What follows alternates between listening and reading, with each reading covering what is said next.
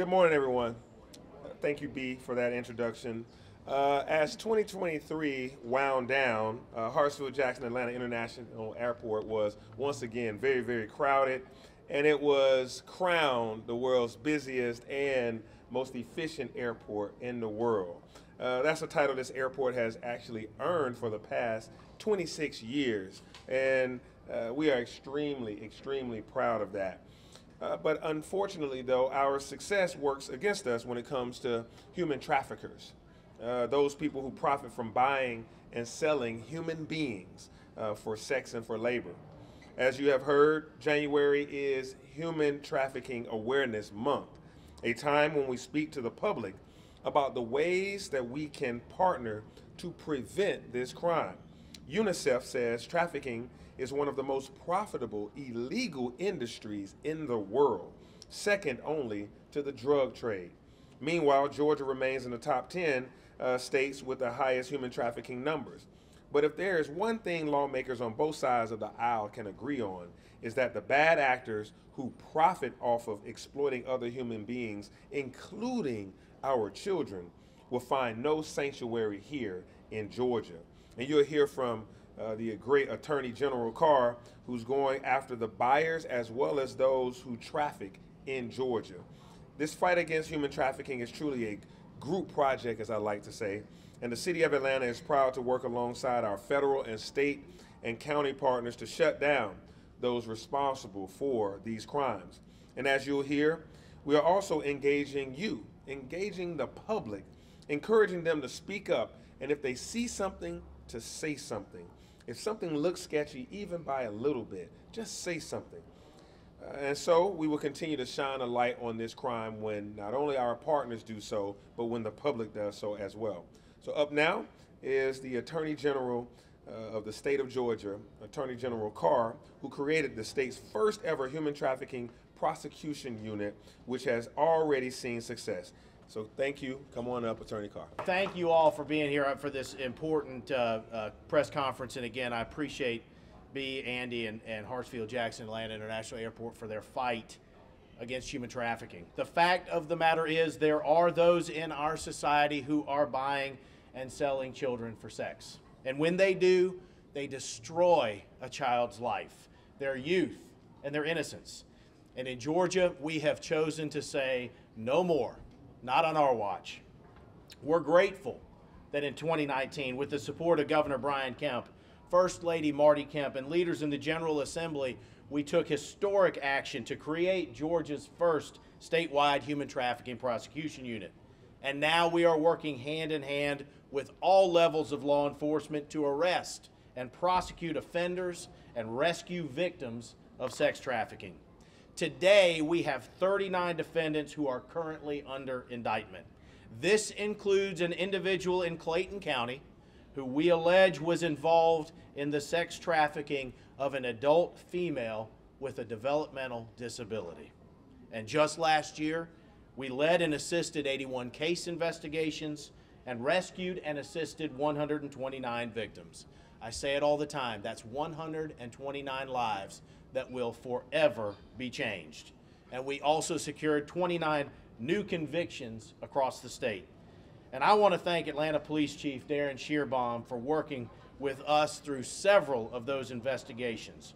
We're stronger together. We're grateful for our partnership with the Atlanta Police Department. We thank you, we thank the mayor, and we thank the men and women of, of APD for all that you do.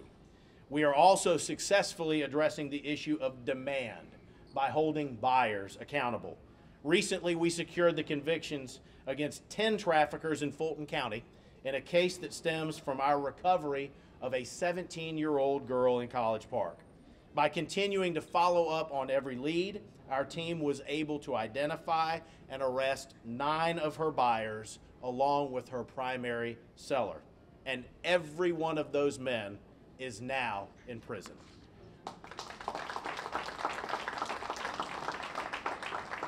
And overall, we've maintained a 100% conviction rate by remaining steadfast in our commitment to ensuring that justice is served. Looking ahead, we'll continue to partner with our new gang prosecution unit the Atlanta Police Department, and others to combat gangs who are engaged in human trafficking as a primary means to make money. We'll also continue to focus on investigations involving missing children, who we know are more vulnerable to human trafficking. Whether they have left home voluntarily or not, children who are missing are more likely to be approached by a sex trafficker. And we must do everything we can to locate and protect them.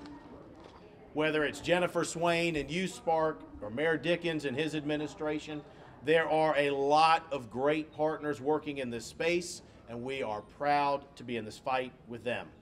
And as I travel the state, it's clear that Georgians are more aware than ever before of the humans uh, of the horror of human trafficking.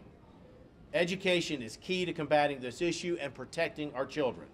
And I do want to thank Hartsfield Jackson Atlanta International Airport and Delta Airlines for their commitment to training and serving as our eyes in the sky.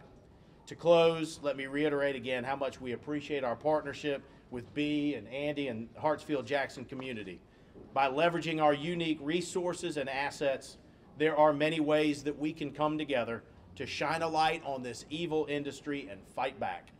The more people we have working together, the more lives we can save. And I'm confident that our strong, unified stance against human trafficking sends a strong signal that the state of Georgia will not tolerate those who abuse and exploit our children for sex. Thank you. Well, good morning, everyone. B, thanks for having us. I want to start by acknowledging the men and women of the Atlanta Police Department. You see many of them, thank you,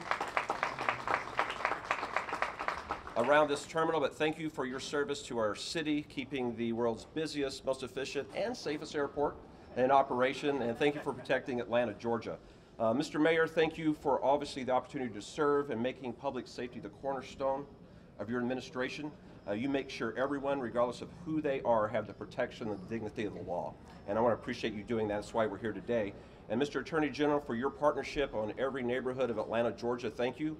Uh, last year, we fought gangs, guns, and drugs uh, throughout all 245 of our neighborhoods. We saw a reduction, thankfully, in homicides and in shootings in our city. But we saw reductions in human trafficking through that efforts because the gangs that are pulling triggers across this state are the same gangs that are trafficking individuals. You may look at this uh, group and think it's only the duty of the elected or those that wear the uniform to stop human trafficking, but that is not the case, ladies and gentlemen.